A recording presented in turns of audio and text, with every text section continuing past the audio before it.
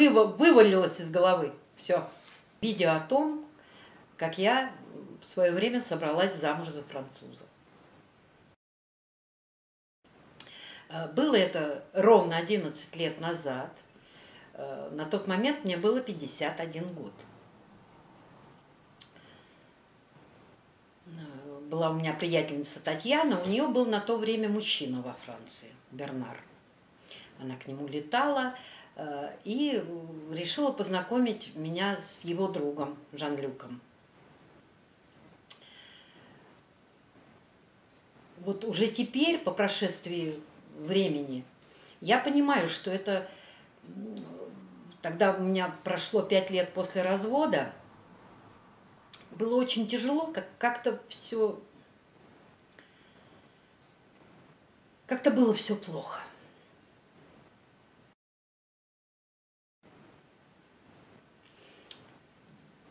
Металась я из стороны в сторону.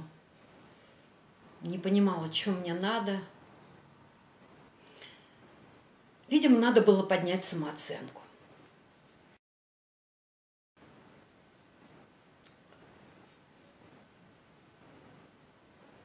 Ну, начали мы готовиться к этой поездке. Я стала учить французский язык.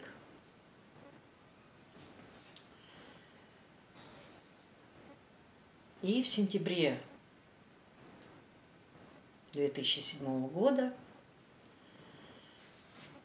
вся моя семья провожала меня в город Париж.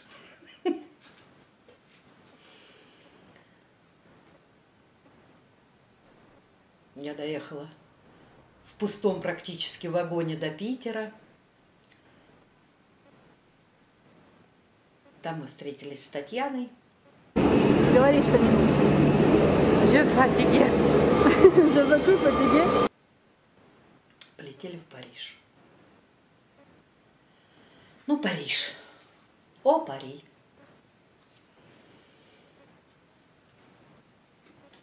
Мы прилетели утром.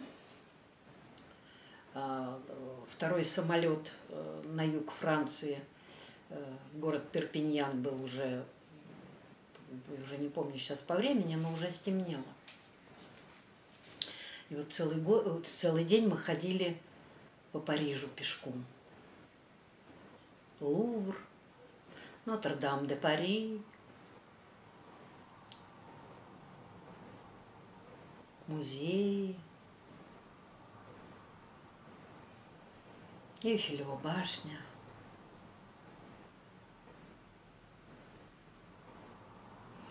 Красота.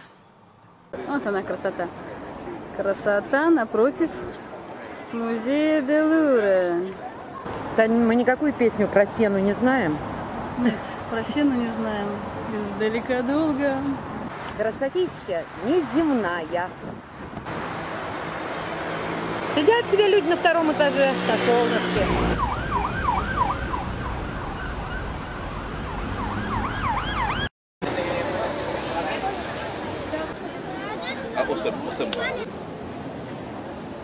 Прям было видно. Автобусы больно красивые. Иди к нему, иди, голубчик. Красиво.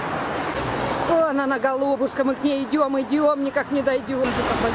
Дети играют на газоне в футбол. Люди куда-то все пропали. Вон, 272 метра, 2 миллиона 700 евро. Иду, иду, иду. Высоченная железяка. Я лежу на газоне и снимаю Эйфелеву башню. Любанька уже вот ушла. А еще к Милану. А Жан-Люк, какие муки ради тебя.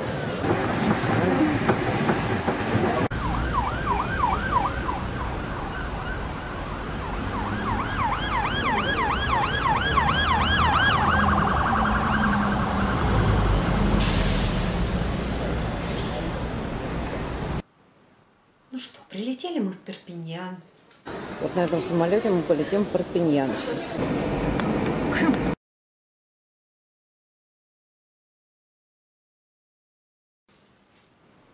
Встретили нас мальчишки. Бернар с Жан-Люком. Познакомились, посидели, выпили. Ну и стали строить отношения. Бернар чистит устрицы по-нашему. Три кастрюли. Варятся мули, то бишь устрицы. Сейчас будем смотреть регби и есть все это хозяйство. Le. Ну ладно, Сначала покажем, что там внутри. Ой, не знаю. Ой, не знаю, что это за муля. Её Это как- муля такая очень вкусная, с лимончиком ее едят. Она, она живая. Она не живая уже. Она уже...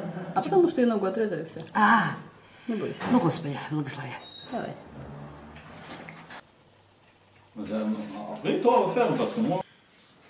Встретили нас хорошо. Возили нас. Э, Вот мы ездили два раза в Испанию. Там, благо, Перпиньян, он в 40 километрах от Испании.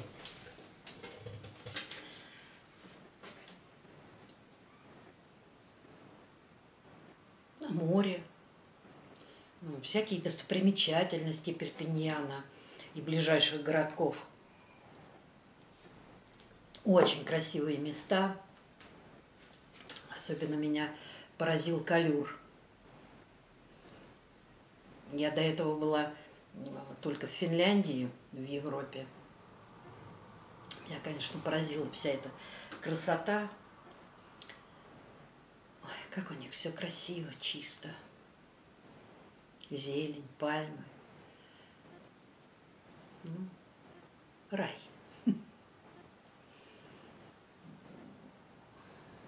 Руси туриста, облика морали.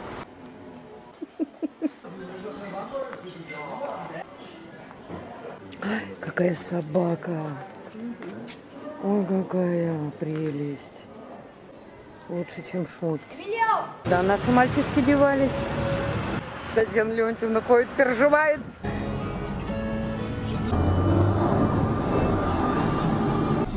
Littoral FM.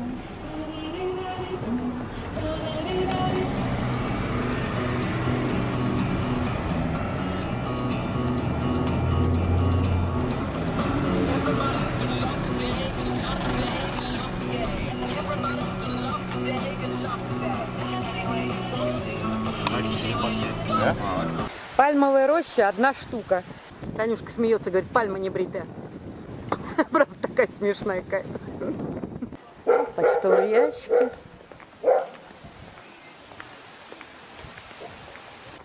Я представляю, как здесь весной красиво. Ну, какая-то пальма тоже, да. Ой, какая толстенная во дворе.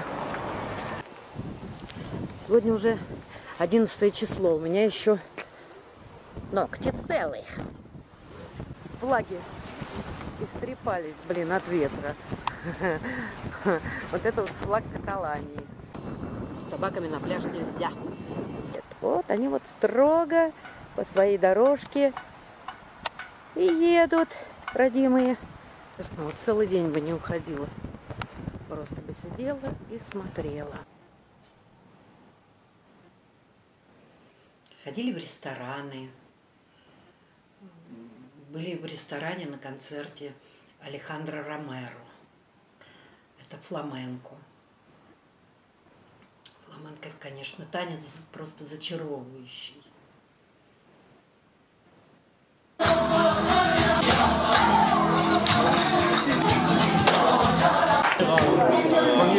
Разговорились, разболтались.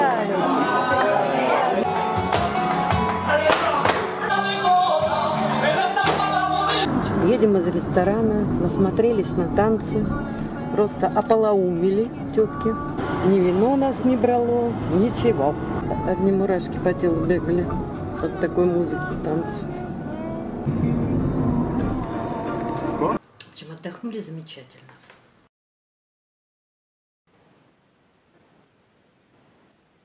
В общем, есть что вспомнить. Сам Жан-Люк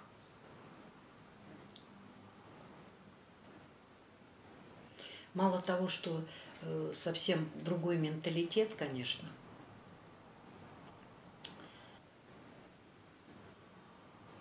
Человек, который ничем не интересуется. Работа, дом, э, выпивка по вечерам обязательная. И смотрит только регби по телевизору и лото. Ну, эти лотереи всякие. Больше его ничего не интересует.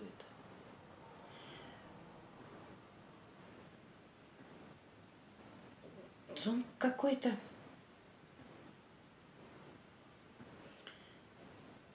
не проявляет себя как мужчина абсолютно.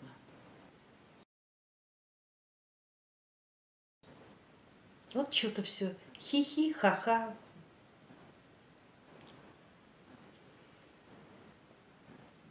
Я даже как-то я вообще стеснялась там, ну вы сами представляете, да, попасть в чужую страну, незнакомый человек, как-то чувствуешь себя, ну, не очень комфортно.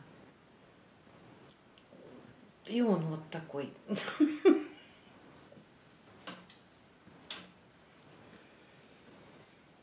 В общем, я быстро поняла, что это герой не моего романа.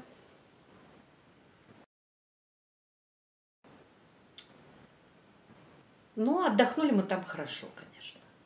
Хорошо. Ездили в Андору, такое маленькое государство в Европе. По пещерам ходили. Ой, ну много всего красивого, конечно. Так, готовы? Виног- Виноградные улитки. А у нас пропадают в стране.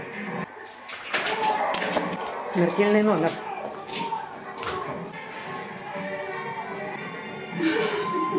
Показывает всем видом, что вкусно. Так, Люба, Ну-ка, попрощаться с тобой. давай, давай, давай, сейчас я. Бернард, Давай ешь. Бернард. Да ладно тебе. Part c'est une dédicate et Ну, ты знаешь, нормально абсолютно. aussi. mais М, Не понять, восторгов никаких, да? Вообще ничего. regarde. М? Ну, Как мужички-то наворачивают. Вот так вот.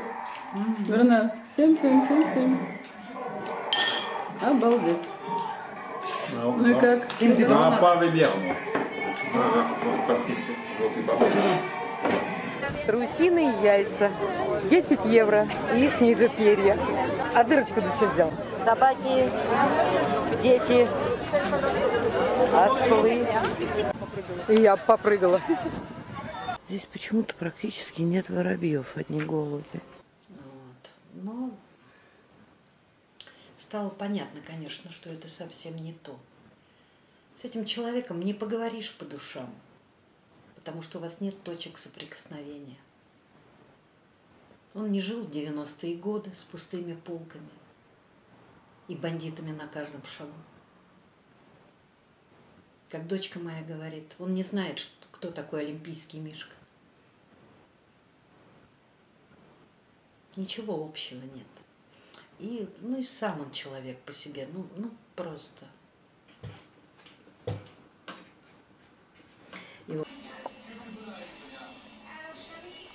Фотокарточку нашу поставил. На память. О, телефон.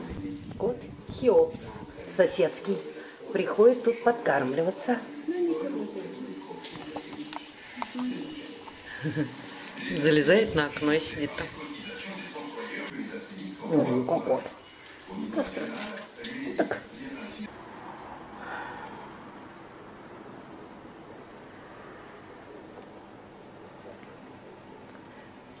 Дочитала книжку.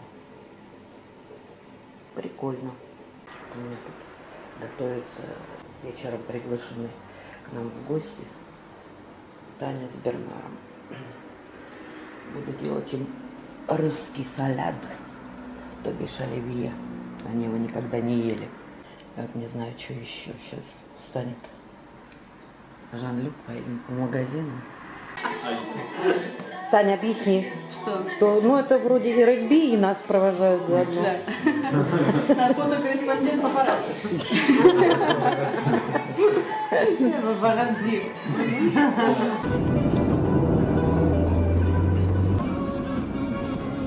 Поехали обратно. Attention des PNC, ne pas l'atterrissage, merci. У меня нога сломалась у сумки. А вещей у парижанков, как с колхоза 40 лет без урожая. Так а тут еще два часа до рейса. Прощай, Франция.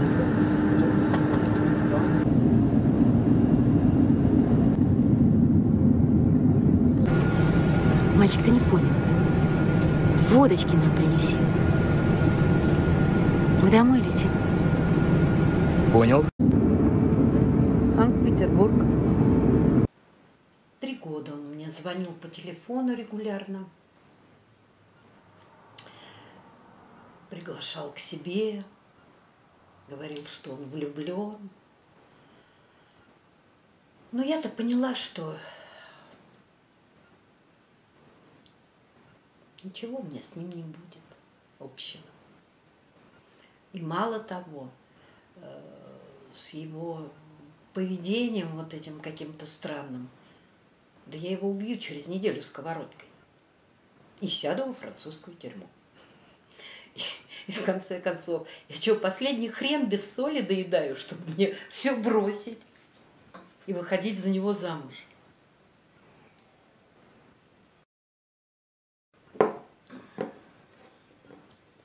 Так что не получилось из меня французская невеста.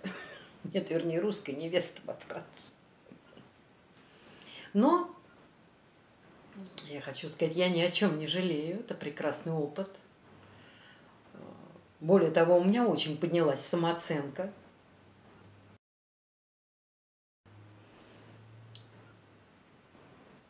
После тех француженок, которых я видела. Девочки, мы самые лучшие.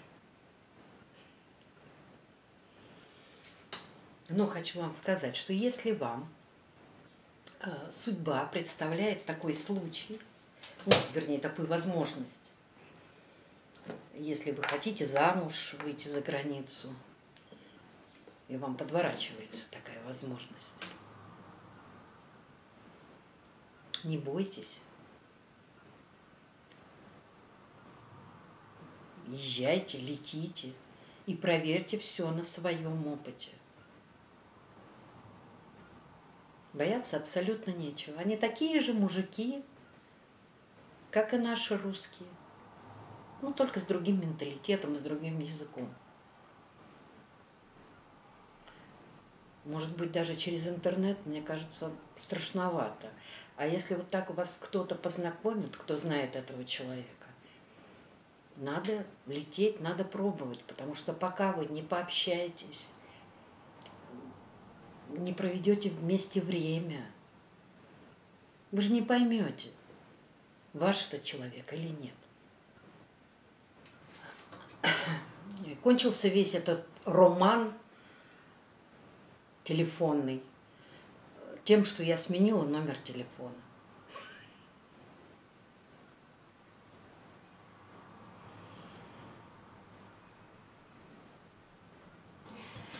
Но через два года у меня был еще опыт общения уже с Фином.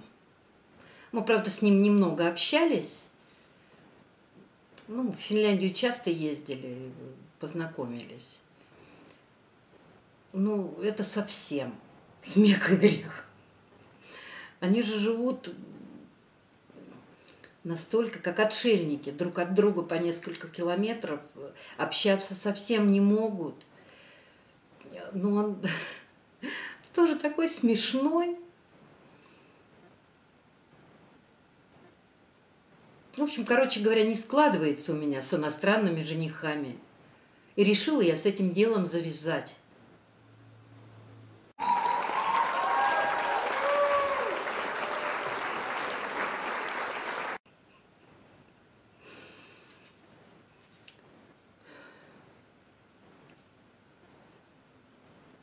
Ну, на этом, наверное, все на сегодня. Спасибо вам, что вы смотрите. Если вам нравится, подписывайтесь, потому что это показатель. Подписывается человек, значит, ему интересно смотреть. Мне это очень приятно. Подписывайтесь. Потому что подписчики уже становятся моими друзьями. Это так здорово. Пока-пока.